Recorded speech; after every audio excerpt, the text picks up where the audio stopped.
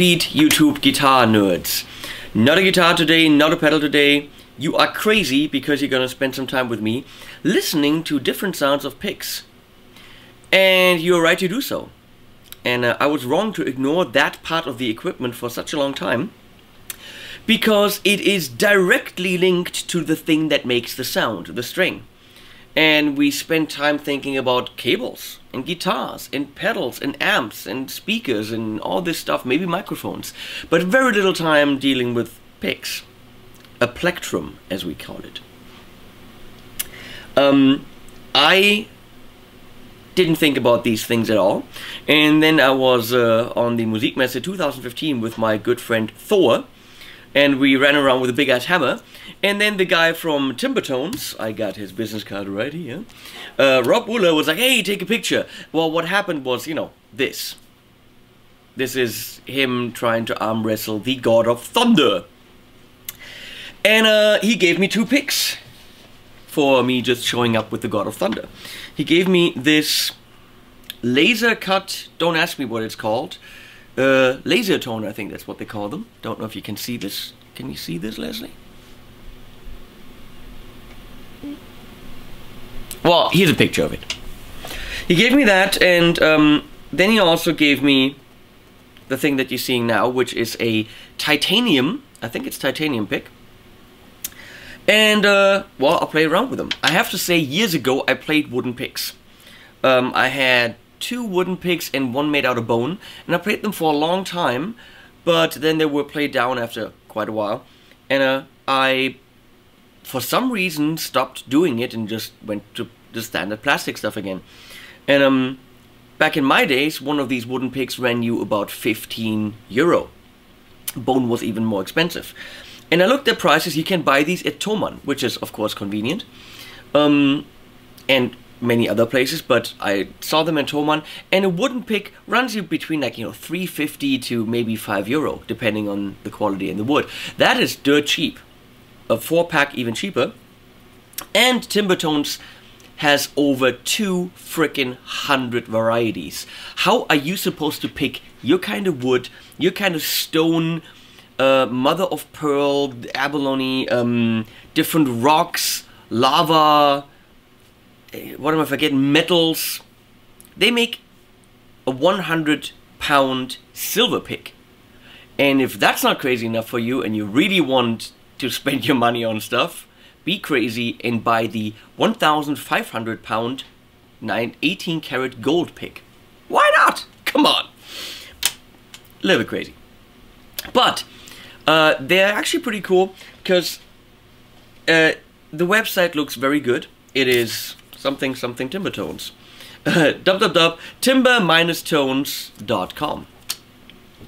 And um, what I really like is they first of all, they have beautiful pictures. They have demo videos, hopefully this one now. And they offer you single picks, they offer you four packs, they offer you tins with 20 or 12 or whatever, and they offer you subscriptions. So you can have a monthly or annual subscription and you always get, you know, the newest picks. So you never have to think about it, pay once for the whole year, and every month you get uh, a new selection of picks. Very cool. This video can only really show you a rough idea of the sound. Experiencing it is everything. Um, the woods obviously sound a little bit rounder than the standard plastic. The metal, which I just added a little bit in the end because it's going to be a whole video about metal picks. Metal picks. Um, it sounds sharper and on the low strings kind of grindy, which is which can be very cool.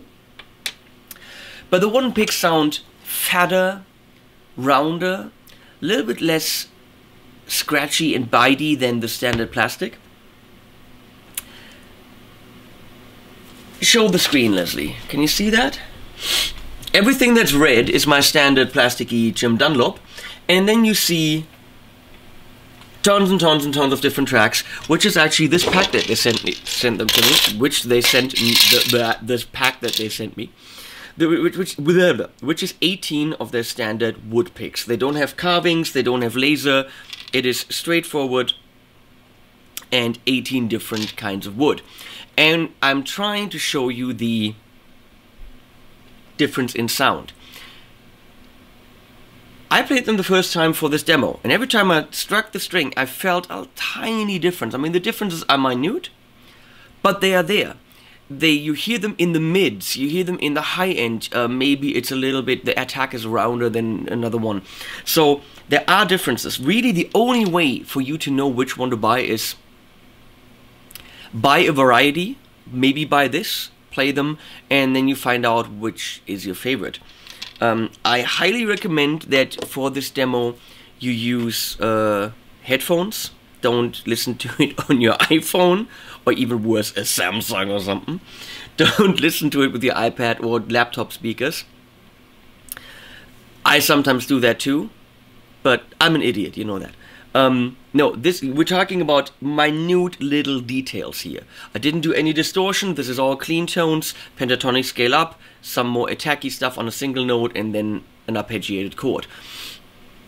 Every time you hear the wood pick, before that, you hear my Jim Dunlop USA heavy gel red pick, which I've used a long time now um, as a reference. For me, that's a reference pick. So every time you hear the same stuff played with this, I know it gets annoying after a while, but you have to, you know, hear the reference of the stand that you probably also play.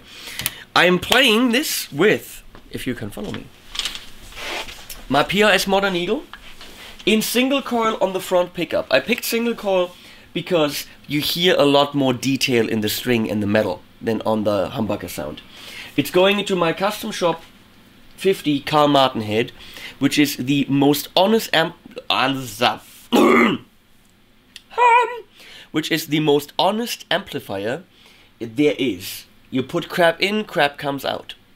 That's how Søren Ljungberg from Carl Martin explained it. Put shit in, shit comes out.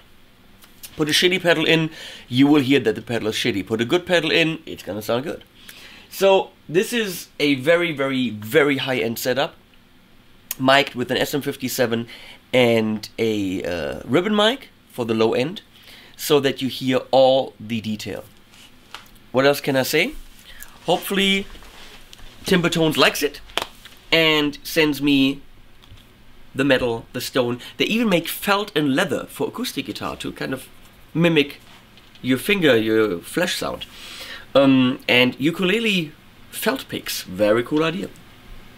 Um, I'm getting a copper top guitar from Isaac Baruman in some time, and they have copper picks. It's gonna have copper hardware, a copper top, copper, copper, copper everywhere. Well, it's gonna be played with Timbertones copper picks, which I'm gonna add in the end just as a bonus, bonus. Um, and now here is 7 minutes and 40 seconds of the same part played with different picks. I would say enjoy, but I'm not sure that's the right word. But if you're interested in Timbertones, I try to give you the most objective overview over the wood pick collection of 18 different wood picks. How much wood would wood pick pick if a wood pick could pick wood? Now that doesn't make any sense. I see you.